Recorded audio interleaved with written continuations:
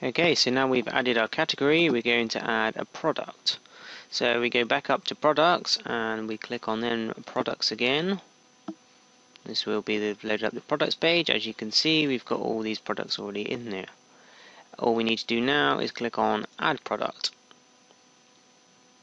Okay, and you can give your product a name. So what we're going to put on here is fish fingers. Okay, and now we got under here add categories. So click on add categories.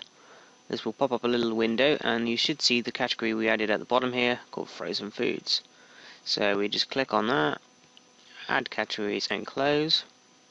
And now we need to give the category a price, um, the product price even, which we're going to say is 1.99, and you can give it a full description. Uh, so we put bird's eye fish fingers, box of 8.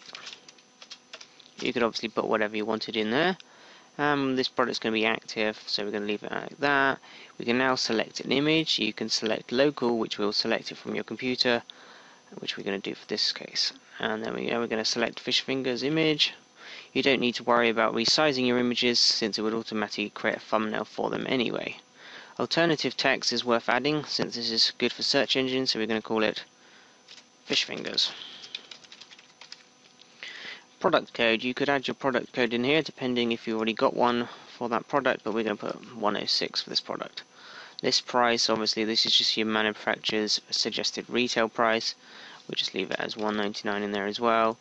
You can put stock in there so you can keep control control of your stock. We'll put there's 10 available, and we can might as well leave the rest taxes, include VAT we can take that. Search engine optimization and metadata. We can add a page title like we did for the category.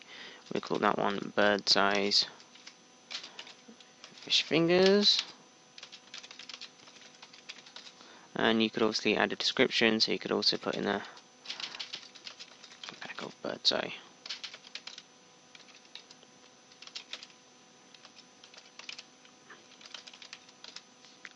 Bird's eye fish fingers in there as well Okay, and then all you need to do is press create and save. Or create and close. Now we'll put you back to this page and there you are. You've got fish fingers in there now, product code 106 at 199. So if you go back to your main home page and we just give this another reload a minute. And now we're going to click on the frozen foods category and there you have it fish fingers in stock. Click on your fish fingers and you'll see it there box of 8 fish fingers. And you can click on the image and it will enlarge your fish fingers. And that's all you have to do to add a product. Welcome to a short tutorial about adding categories to your CS cart. Once you've logged in you'll be displayed with this page and what we need to do is go to products.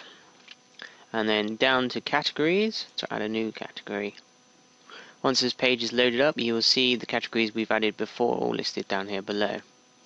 To simply add a new category, just click on Add Category. And then you will be sent to this page, and you can type in a name for your category. For this category, we're going to call it Frozen Foods. And then you can give it the description, and we're going to put a selection. Frozen foods you can call it whatever. And you'll see the status. We're going to set it to active because we want it to display. Otherwise you can set it to hidden or disabled. You could also add an image if you wanted to but in this case we're not going to add the image. Uh, below you've got uh, search engine optimization and metadata. You could give it a page title. We're going to call this frozen foods this is mainly for a search engine so that when someone searches this page it would give the page title of frozen foods. You could also give a description so you could put a selection of frozen foods again in there if you wanted to. And then you can just leave the rest as default for now and all we're going to do is click create and close.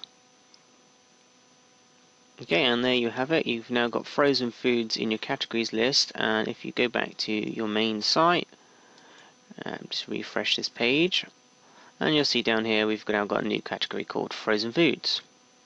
And that's all.